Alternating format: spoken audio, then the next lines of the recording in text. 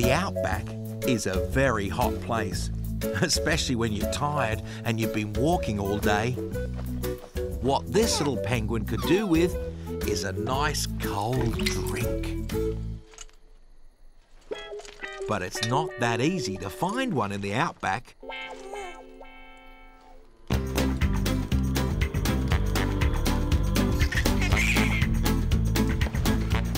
Frank and Buster were out on their daily patrol looking for anyone who might need their help. Is that someone there? Where? No, sorry, just a rock. Uh-oh. Did you put fuel in the plane this morning, Buster? Uh, no. Uh, neither did I.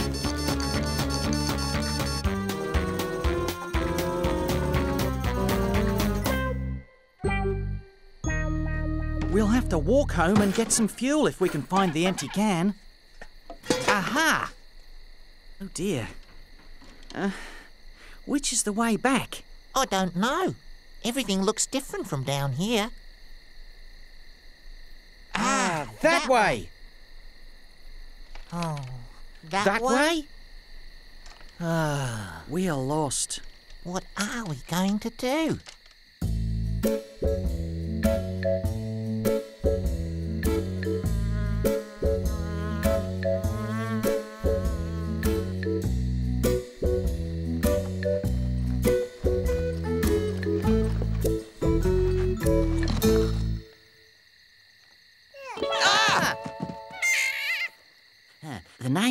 Frank, and this is Buster. Hello, Pleased to meet you. what's your name? Ew. Do you need help? You want something to drink? And, and something to eat? Well, good thing we're here to help. Yeah. If only we weren't lost. Oh,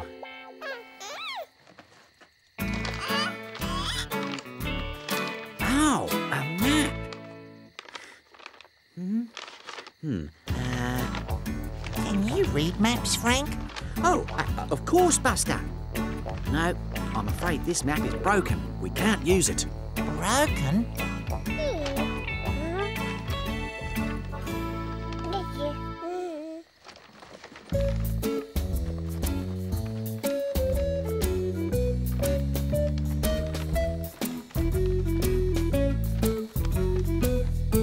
Oh, look, it's the homestead. I don't think that map was broken after all. Now, let's find you somewhere cool to sit and get you a nice cold drink. And some food. Quite right, Buster. We're here to help.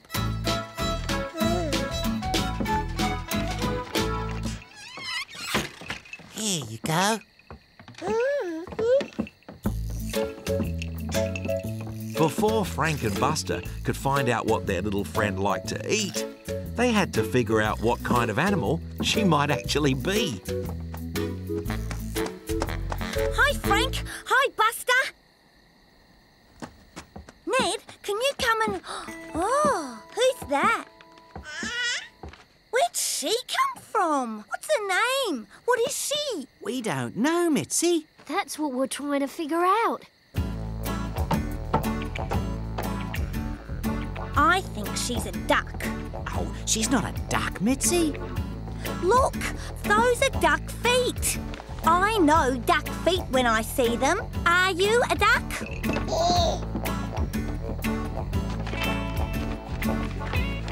Maybe she's one of those. I still think she's a duck. Ned thinks she's a duck too, don't you, Ned? I, uh, Aha! I think I found you. Yes, yes, you're a penguin. Hello, little penguin. We still say she's a duck. Uh. Ned, Uh? are you coming? oh. Uh, It says here that penguins like to eat fish. Are you hungry? This is all we've got. Hope it'll do. Hey, hey, not so fast.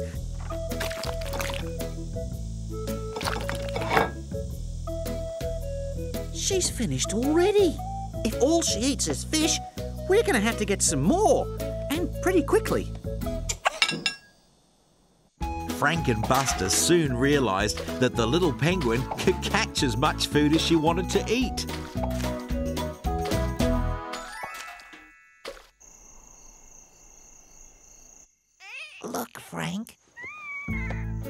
Before long, she was making herself quite at home.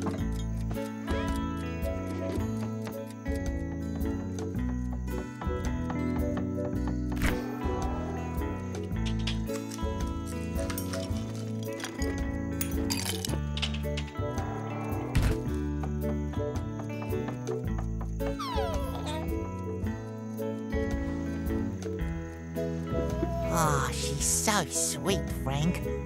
Oh, I hope she stays forever.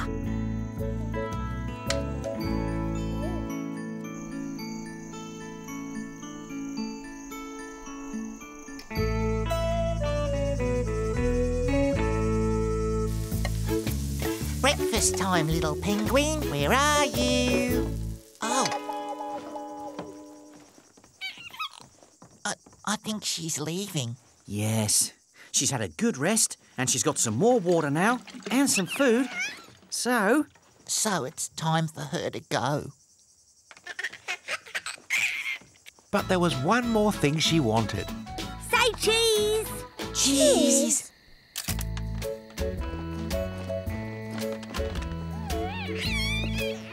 I think she wants a picture with you now, Mitzi. With me?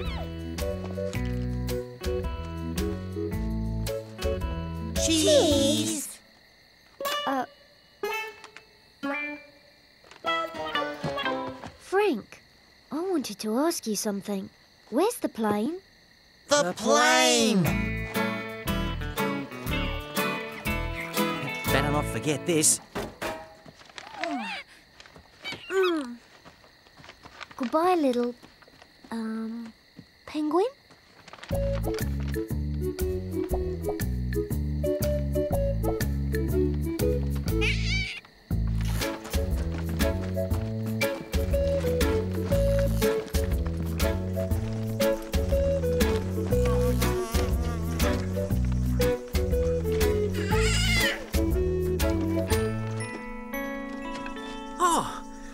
Thanks for finding our plane. Yes.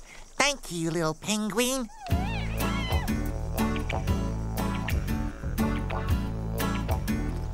Now we can get back to helping everyone again. This time, she helped us. Goodbye, little penguin. And so Frank and Buster learned that everybody needs help sometimes, even the Koala brothers. But that's not quite the end of our story.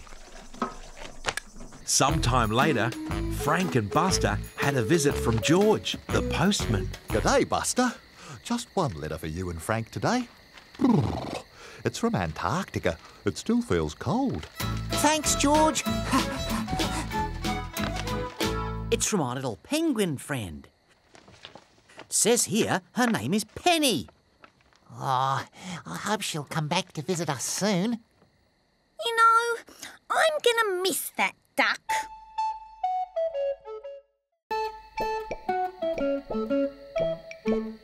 In the outback, it's not that easy being a postman, especially if you're a turtle. George was running late as usual. Oh, but he was doing his best. George always likes to deliver the post in person rather than leaving it in the postbox. That's because his favourite part of the day is when he gets to say good morning as he hands over the post.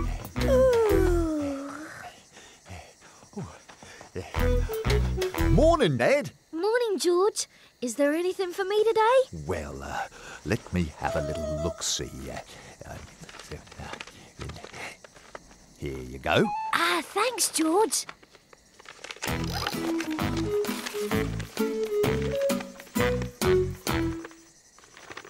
Oh, hi, George. Good day. Now, what have I got for you today? Hmm, yeah, one for you, Frank, Thanks, George. and one for you, Buster. Oh, thanks, George. Hi, George. Have you got anything for me? Morning, Mitzi. Uh, let's have a little look-see. There's three for you, Mitzi. Three? Hey, wow! Thanks, George. Oh, I only got one. Come on, Buster. We've got work to do. You work in a post office, George. I expect you get lots and lots of letters, don't you? Um, no, not not really. You don't? Not often, no. Bye, Mitzi. Now, George would never complain about not getting many letters, but Mitzi was surprised. Mitzi decided that she was going to write him a letter. Mitzi loved writing letters to her friends, but sometimes she wasn't quite sure what to say. Dear George, I like you because you're slow. Oh, no, that's rude. Um, because you bring my letters. No, he knows that. You make me very happy because you bring letters from my friends. Um, so I know what they're doing. Um, love Mitzi. There, that's it. After all that, she decided to start again. The next morning, just as George was emptying the postbox in town, George!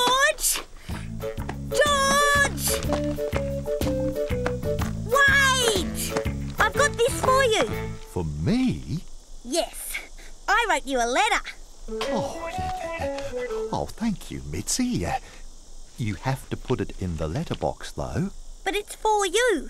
Yes, but you've got to put it in the box so I can collect it properly. Oh, okay.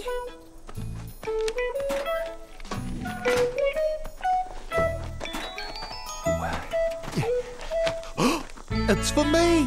Yes, that's what I just said. Oh, that's really nice. I- I'll read it later when I've finished delivering the post, so I can look forward to it.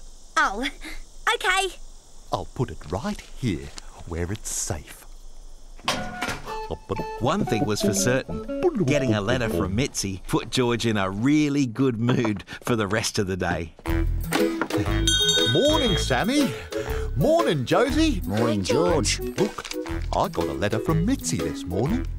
Oh, that's nice. Are you going to open it? Oh, no, not yet. Uh, I'm saving it for later. George told everyone that day how happy he was that he'd got a letter from Mitzi. Thanks, George. Thanks, George. Now, a busy postman sometimes finds that with all the walking he does, his shoelace comes undone. Uh, yeah. Oh, not again.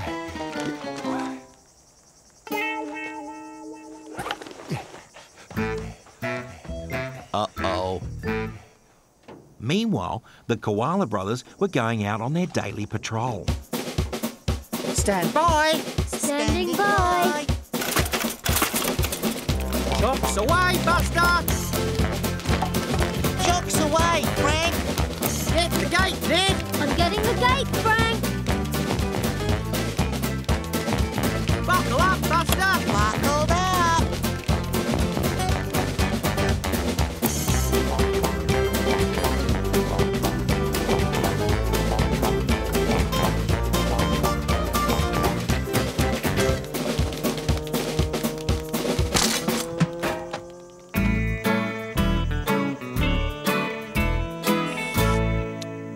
George had been looking forward to reading Mitzi's letter all day. Oh, oh. Frank and Buster were looking for anyone in need of help. It's George, He looks a bit lost. but he's a postman. Postmen don't get lost. Looks like he needs help, though.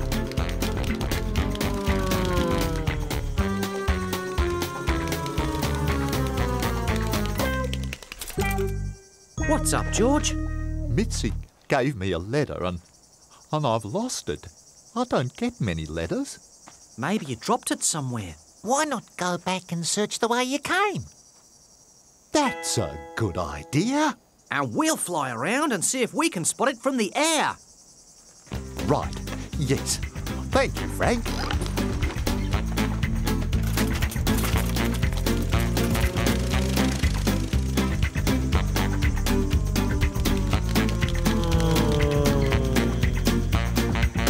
You see anything, Buster? Yes, lots. Of what? Nothing. Nothing. Yeah, there's lots and lots of nothing. Ah, Buster. But then something caught Buster's eye.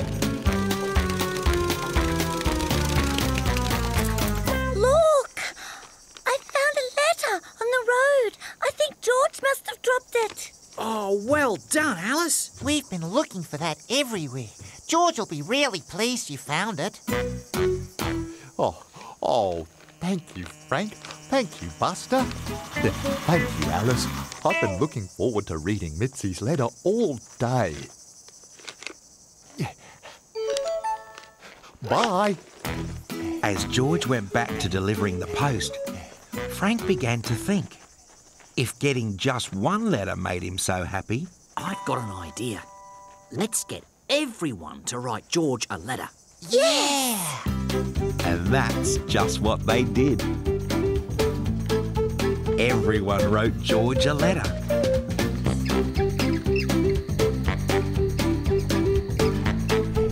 The next morning, George went to the post box as usual to collect the letters.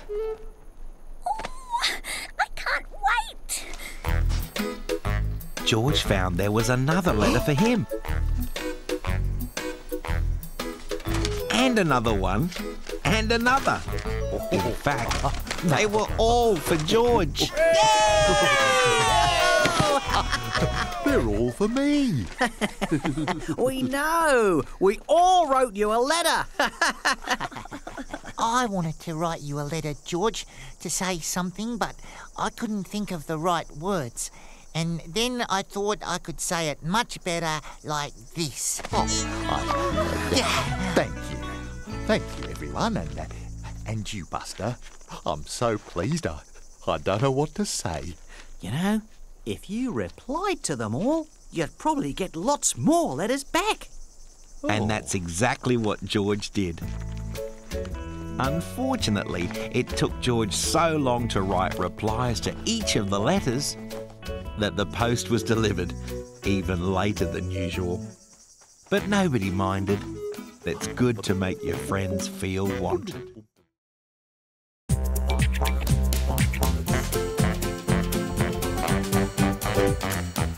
If you're in trouble and you need someone to help you out, there's no need to whistle and there's no need to shout. Hey, hey, hey.